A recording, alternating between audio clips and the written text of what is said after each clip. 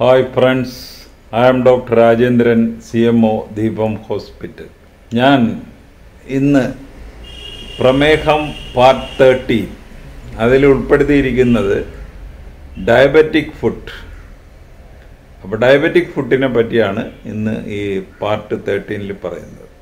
അപ്പോൾ ഈ sugar uncontrolled ആയിട്ട് നിൽക്കുമ്പോൾ ഇദ്ദേഹത്തിന് ഡയബറ്റിക് ന്യൂറോപ്പതി വരാനുള്ള സാധ്യതയുണ്ട്.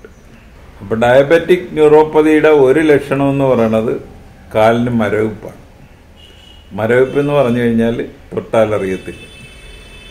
അപ്പോൾ തൊട്ടാൽ അറിയാതെ വരുമ്പോൾ അദ്ദേഹത്തിന് അവിടെ വല്ല കാലിൽ വല്ല മുള്ളോ എന്തെങ്കിലും കൊണ്ട് ചെറിയ വ്രണങ്ങളായാലും മതി. വലിയ വ്രണങ്ങളാണേ പറയണ്ട. ചെറിയ വ്രണങ്ങളാണേലും ഡയബറ്റീസ് കൂടി നിൽക്കുന്നത് കാരണം അത് കയറി ഇൻഫെക്റ്റഡ് ആകാനുള്ള സാധ്യതയുണ്ട്. ഈ പഴുപ്പ് തുടങ്ങുന്നതും അത് കഴിഞ്ഞ് അത് മോളിലോട്ടൊക്കെ കയറി ചിലപ്പോഴത് ഓസ്റ്റിയോമൈലൈറ്റിസ് എന്ന് പറഞ്ഞാൽ ബോണിനെ ബാധിക്കുന്നു. അത് കഴിഞ്ഞ് ചിലപ്പോൾ നല്ല അപ്സസ് ആകാനുള്ള സാധ്യതയുണ്ട്. അത് കഴിഞ്ഞിട്ട് ഇത് മോളിലോട്ടൊക്കെ വ്യാപിക്കാനുള്ള സാധ്യതകളുണ്ട്. ഇതിനാണ് ഡയബറ്റിക് ഫുഡ് എന്ന് പറയുന്നത്. അപ്പോൾ ഈ വഷളായ സ്റ്റേജ് വരുമ്പോഴാണ് അതിന് ഡയബറ്റിക് ഫുഡ് എന്ന് പറയുന്നത്. അപ്പോൾ ഇത് എക്സ്റ്റെൻഡ് ചെയ്ത് ഒക്കെ മുകളിലോട്ടൊക്കെ വന്നു കഴിയുമ്പോൾ ചിലപ്പോൾ ഇദ്ദേഹത്തിന്റെ വിരലുകൾ മുറിക്കേണ്ടി വരും. ചിലപ്പോൾ പാദം മുറിക്കേണ്ടി വരും.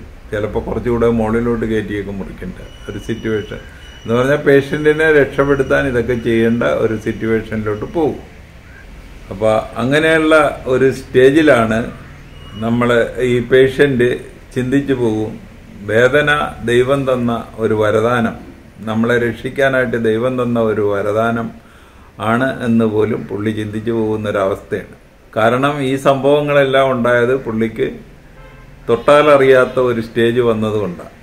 ഈ ഡയബറ്റിസ് കൂടി നിൽക്കുമ്പോൾ ഇത് വഷളാകാനുള്ള ഒരു ഒരു കാര്യം അതിന്റെ കാലിന്റെ രക്തഓട്ടക്കുറവ് ഈ രക്തഓട്ടക്കുറവ് ഡയബറ്റിസ് കൊണ്ട് മാത്രമല്ല ചിലപ്പോൾ ഇദ്ദേഹത്തിന് വേറെ ചില അസുഖങ്ങൾ ഉദാഹരണത്തിന് T A O thromboangiitis obliterans ഇതെങ്ങനെയാണ് ഉണ്ടാകുന്നതെന്ന് പറയുമ്പോൾ ഇദ്ദേഹത്തിന് പുകവലി കൂടുമ്പോഴും പുകവലി കൂടുമ്പോഴും ഈ ബ്ലഡ് വെസൽസ് നാരോ ആകും അപ്പോൾ അദ്ദേഹത്തിന് കാലിലെ രക്തഓട്ടം കുറയും.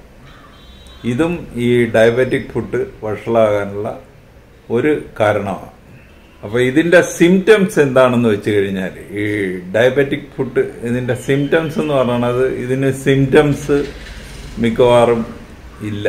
എന്ന് പറഞ്ഞാൽ പുള്ളിക്കൊന്നും അറിയാൻ പറ്റുന്നില്ല പിന്നെ ഈ ഡയബറ്റിക് ന്യൂറോപ്പതിയുടെ സിംറ്റംസ് വേണേ വരാം. എന്ന് പറഞ്ഞു കഴിഞ്ഞാൽ പെരുപ്പ് വരാം വേദന വരാം. പെരുപ്പ് എന്ന് പറയുന്നത് ഈ നമ്നസ് പിന്നെ രക്തവട്ടത്തിന്റെ കുറവ്.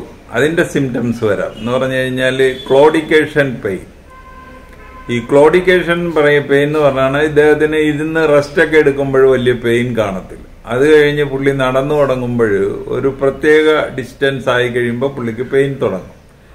ഈ ഡിസ്റ്റൻസിന് പറയുന്നത് ക്ലോഡിക്കേഷൻ ഡിസ്റ്റൻസ് അത്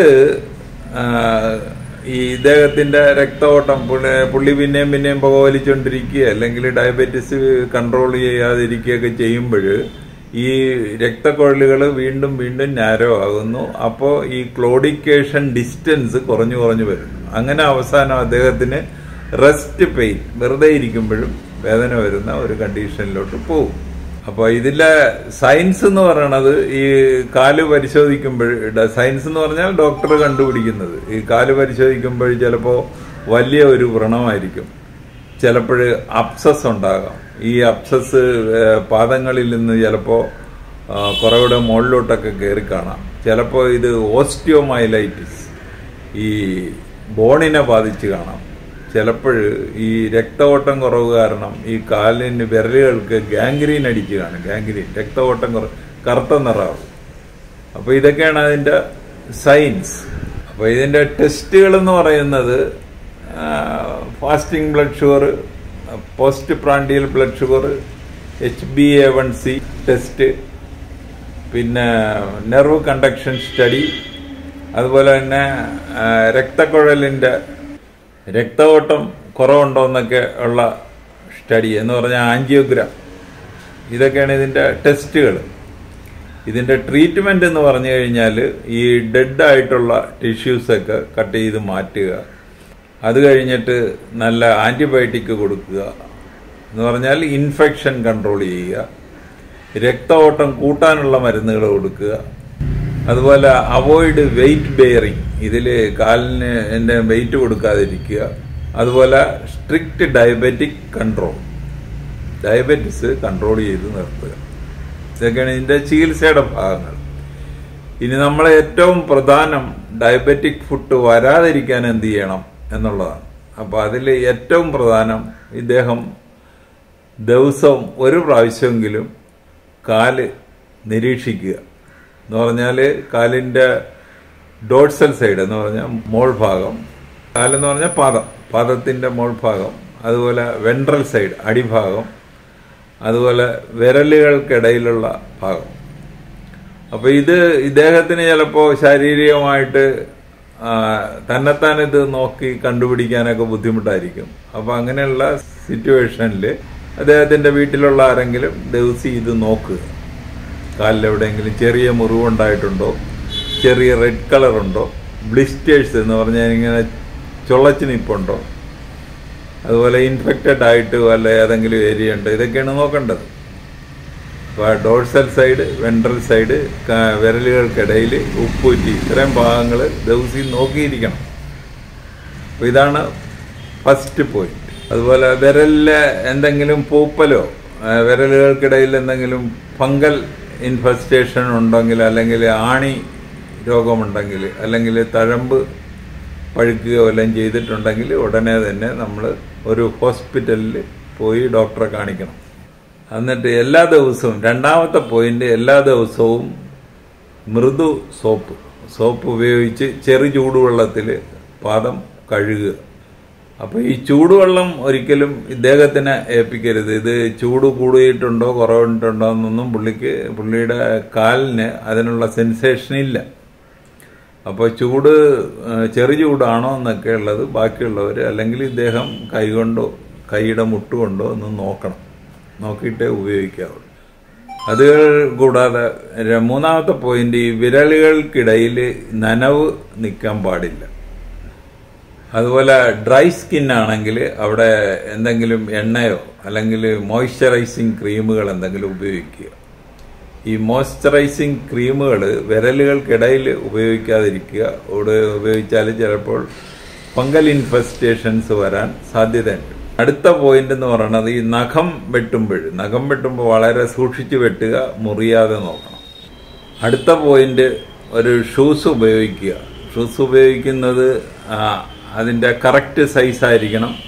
പിന്നെ ഷൂസ് ഇടുന്നതിന് മുമ്പ് ഇതിന്റെ അകത്ത് എന്തെങ്കിലും ഒരു കല്ലോ എന്തെങ്കിലും കഷ്ണ ഇത് മുറിവുണ്ടാക്കാൻ സാധ്യതയുള്ള എന്തെങ്കിലും ഉണ്ടെങ്കിൽ അത് മാറ്റിയിട്ട് ഇത് ഉപയോഗിക്കാവുള്ളൂ എന്ന് പറഞ്ഞാൽ ഇദ്ദേഹത്തിന് കാലിന് സെൻസേഷൻ ഇല്ലാത്ത ആളാണ്.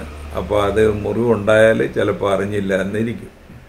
അടുത്ത പോയിന്റ് എന്ന് പറയുന്നത് സ്ട്രിക്റ്റ് ഡയബറ്റിക് കൺട്രോൾ അപ്പോൾ അതിനെന്താണ് വേണ്ടതെന്ന് പറഞ്ഞാൽ സ്ട്രിക്റ്റ് ഡയബറ്റിക് ഡയറ്റ് അത് കൂടാതെ ഇദ്ദേഹം ഈ എക്സർസൈസ് വേണം.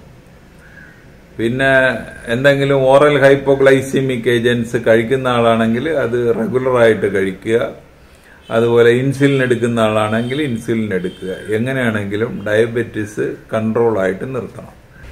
പാദരക്ഷകൾ ഇടാതെ നടക്കരുത്. വീട്ടിനകത്ത് പോലും പാദരക്ഷകൾ ഉപയോഗിക്കുക.